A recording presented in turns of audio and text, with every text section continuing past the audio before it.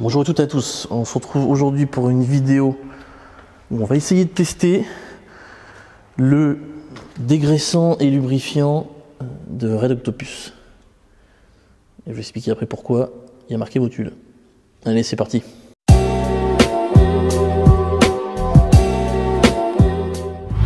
Alors, pourquoi il y a écrit Motul sur le pulvérisateur? Eh Tout simplement parce que le pulvérisateur qu'ils m'ont envoyé ne fonctionnait pas. C'est-à-dire que la petite gâchette là, qui est là, j'avais beau appuyer comme un malade, il n'y a aucun produit euh, qui ressortait, tout simplement.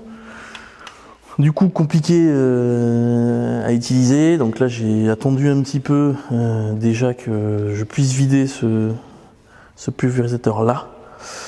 Euh, du coup, j'ai mis le produit dedans, donc je l'ai bien rincé avant et laissé reposer pendant, quelques jours, histoire de qu'il n'y ait bien que le produit de Red Octopus euh, dedans.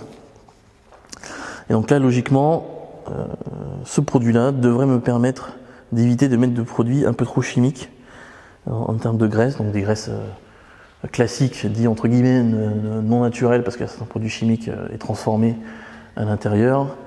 Or, ce que vend du coup Red Octopus, c'est que ces produits sont naturels. Bon, j'avais déjà fait des vidéos sur les lingettes où ils précisent effectivement le- l'ensemble des ingrédients qu'il y a à l'intérieur et qui sont effectivement na- na- naturels. Et donc là, c'est le cas aussi pour euh, ce euh, dégraissant euh, graissant. Donc alors, on va essayer, je vais essayer de vous montrer comment ça rend du coup sur la chaîne. Le souci avec ce test, c'est que je vais pouvoir le mettre dessus sur la chaîne, mais nettoyer un petit peu, et on verra que ça va dégraisser la chaîne. Après, c'est le pouvoir graissant.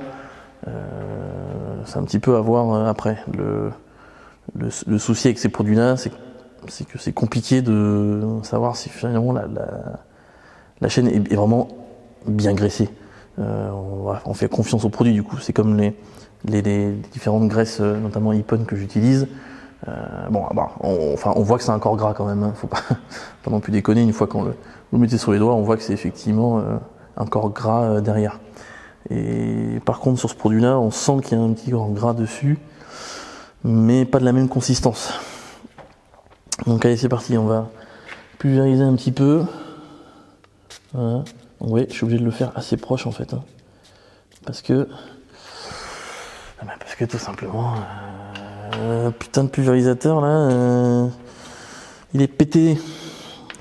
C'est un peu relou, j'en mets plein les jantes, mais comme j'ai du produit Octopus sur les jantes, bah, ça, sera pas, ça sera hyper facile à enlever toute cette graisse à la noix. Donc il faut bien secouer. Donc vous voyez, il y a- des petites euh, graisses blanches. Enfin des petites, des petites graisses blanches. Un petit produit blanchâtre. Et je pense que c'est la cire là. La cire de. Comment ça s'appelle déjà? Carnauba je crois. Donc là j'en mets un peu partout. Et pas que sur la chaîne d'ailleurs. Euh, C'est trop chiant en fait, euh, quand un pulvérisateur comme ça, c'est vraiment relou. quoi. En plus, je pense que je le fais mal, il faudrait que je le fasse de mais face à la chaîne. Bon, désolé, je suis dans le garage, il y a la ventilation qui vient de s'allumer. Ça risque de faire un poil de bruit. Voilà, donc là je suis prêt, hop, on en met sur la chaîne. Pou, pou, pou. Ouais, on voit le produit là, merde.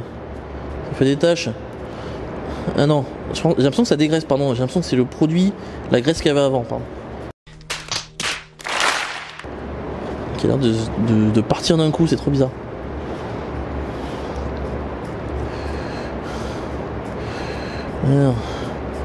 Ah oui, il petits points blancs là, bah, c'est la graisse qu'il y avait avant. Alors on se retrouve donc après le nettoyage de euh, la chaîne.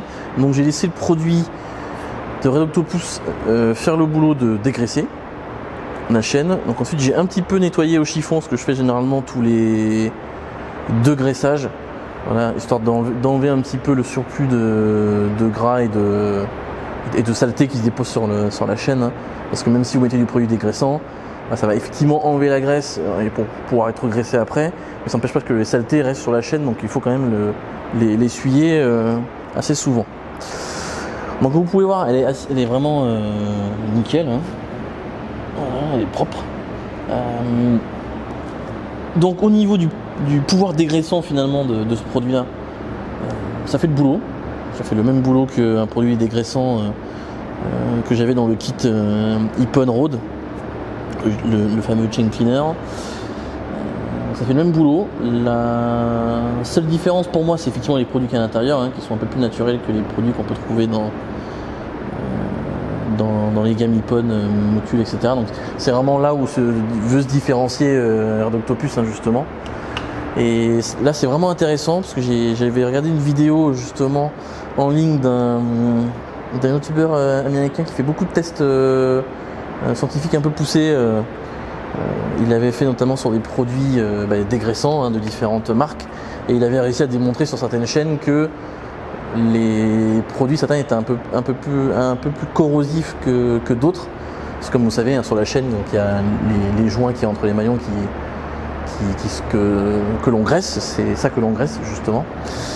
Et il, avait démontré que, c'était, euh, que certains produits pouvaient l'attaquer. Donc là, ce qui est intéressant, c'est que vous avez des produits vraiment naturels dans un Octopus. Donc du coup, vous êtes sûr que vous n'allez pas attaquer euh, directement les, joints qui entre les, maillons de la, chaîne. Donc je pense que ça c'est assez, important si on veut une chaîne qui, euh, dure euh, un peu plus longtemps. Après bon ça c'est mon avis parce que malheureusement je ne peux pas vous prouver par A plus B là, comme ça parce que j'ai pas les, outils pour. je dirais aussi la, connaissances scientifiques pour. Mais en tout cas, quitte à choisir, euh, je préfère utiliser ce type de produit-là pour dégraisser. Alors par contre pour la partie graissage, euh, là j'ai un peu un doute. Alors pourquoi j'ai un peu un doute? Mais tout simplement parce qu'on n'a pas l'habitude d'utiliser ce type de produit-là. Mais vraiment pas.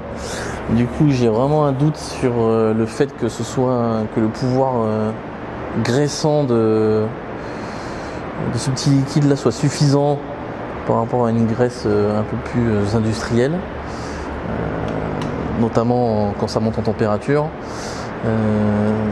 donc comme je peux pas prouver, enfin c'est très compliqué, moi je pourrais pas le faire, il faudrait que quelqu'un qui une approche un peu plus scientifique puisse le faire. Je pense que je vais quand même remettre de la, graisse classique, tout simplement dessus, et garder celui-là en, produit dégraissant. Pour l'instant, et j'essaierai de voir si, comment, comment je peux faire tester ça, euh, si je connais pas quelqu'un qui peut prouver par A plus B que c'est plus intéressant d'utiliser ça en graisse, notamment à haute température comme je le disais, ou euh, une graisse euh, route classique Ippon ou autre.